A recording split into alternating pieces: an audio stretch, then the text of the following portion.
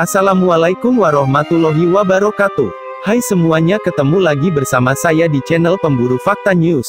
Tidak lupa saya selalu mendoakan kepada Tuhan Yang Maha Esa agar kalian semua bahagia dan sehat selalu. Panas tinggi, Azril Hermansyah dilarikan ke rumah sakit. Azril Hermansyah dilarikan ke rumah sakit saat mengunjungi kekasihnya, Sarah Menzel di Bali. Putra Anang Hermansyah itu rupanya mengalami panas hingga 40 derajat Celcius. Ibunda Azril, Ashanti, menduga anak sambungnya itu sakit karena faktor kelelahan. Kamu itu capek, baru pulang dari Dubai, langsung pergi lagi. Di sana kamu itu nggak tidur pasti, begadang.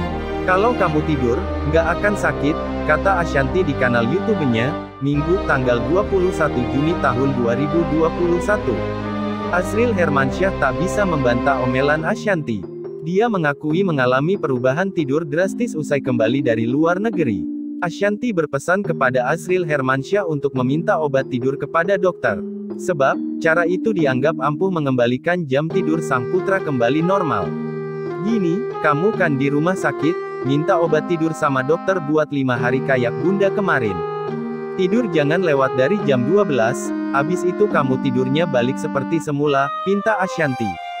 Selain itu, Ashanti juga meminta Azril untuk melakukan tes COVID-19. Sebab ia khawatir, itu adalah gejala dari virus corona. Gil, PCR, antigen, ujar Ashanti. Azril Hermansyah pun melakukan tes yang diminta Ashanti.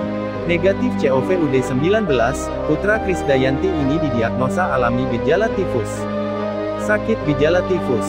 Ya Allah nak, jangan sakitlah. Bikin stres ini. Untung bukan COVID-19 ya, sudah tes tiga kali, kata istri Anang Hermansyah ini. Ashanti berterima kasih kepada Sarah Menzel dan keluarganya karena bersedia merawat Azril Hermansyah. Namun ibu dua anak ini berharap anak sambungnya bisa kembali ke Jakarta secepat mungkin. Baru kali ini sakit nggak ada bundanya.